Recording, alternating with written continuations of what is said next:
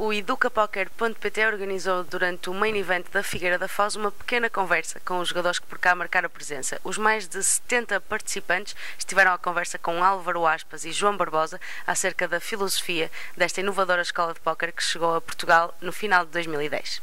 Eh, bem, Educapoker, para quem não conhece, é, é uma escola de, de póquer online. Eh, é de, bueno, va a ser eh, por mí, eh, os meus amigos. Educapoker tem agora dos anos, mas eh, a historia de Educapoker é máis antiga, de, de fazer praticamente seis anos, quando Raúl Mestre, eh, actual campeón de, do mundo según eh, el IFP, eh, va a começar a, a jogar a póquer e depois vai, vai começar a ensinar aos seus amigos.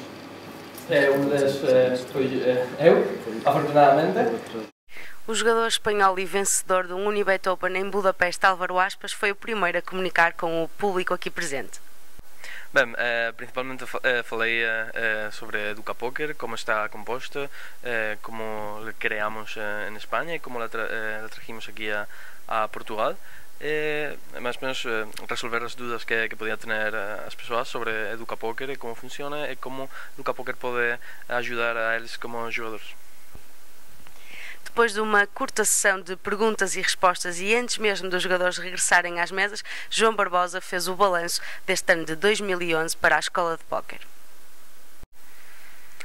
Uh, o ano de 2011 acho que foi um, muito positivo na, para educapoker.pt. Este, um, temos bastantes alunos, todos os alunos começaram com a Educa desde os níveis uh, inferiores estão, uh, penso estão contentes, a maior parte e, então, e já, já temos agora alguns, alguns alunos em níveis médios e a chegar, digamos, a um nível em que já em que se calhar alguns já estão em condições de, de dar o passo para, para, serem profissionais e para terem um rendimento constante. Um, e espero que, que, agora no futuro, como, como vai ser, digamos, o segundo ano um, da Educa, espero que, que haja muitos mais alunos agora uh, a, a chegarem, digamos, aos níveis aos níveis médios, aos níveis que nos interessam a nós e que, que nos interessam em eles chegar. Já mesmo no fim foi tempo de falar com Álvaro Aspas para conhecer os planos futuros do educapoker.pt. Bem, somos muito ambiciosos em, em 2012. Eh, vamos a trabalhar muito duro para para conseguir ajudar o máximo possível os jogadores, que é o nosso trabalho. Eh, vamos a ter muitas novidades interessantes. Agora que já sabem os planos e estão um bocadinho curiosos, não se esqueçam de consultar o pokerpt.com para saber as novidades e visitar o educapoker.pt.